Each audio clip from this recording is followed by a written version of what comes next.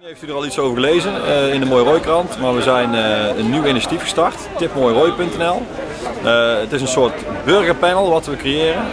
aangezien we de mening van verschillende rooienaren vinden we heel belangrijk. Het kan gaan over allerlei onderwerpen, over voorzieningen, over, over zorg, over de fusie met Vechtel en Schijnel.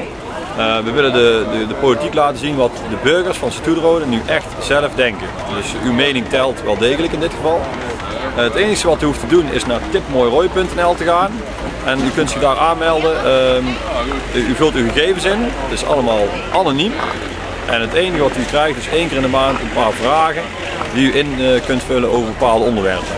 Daar gaan wij mee aan de slag en dan ziet u in de krant wat Sint-Oederode denkt over een bepaald onderwerp. Dat is tipmooirooi.nl. Wat ik van het formulier verwacht is uh, dat de politiek eens een keer luistert naar de bevolking van Sint-Oederode. Want dat vind ik toch wel belangrijk. Nou, ik denk wel dat het een goed initiatief is dat de burgers in Sint-Oederode een keer kenbaar kunnen maken wat zij allemaal, uh, allemaal willen. En zo, hoe dat eigenlijk zou moeten in Rooi, denk ik. Ik denk dat het wel goed is. Ik denk dat de nieuwe gemeenteraad misschien uh, door openen voor degene die er niet zitten. Maar dus daar hoop ik wel. Nou, ik vind het een zeer goed initiatief om daar de burger bij te betrekken.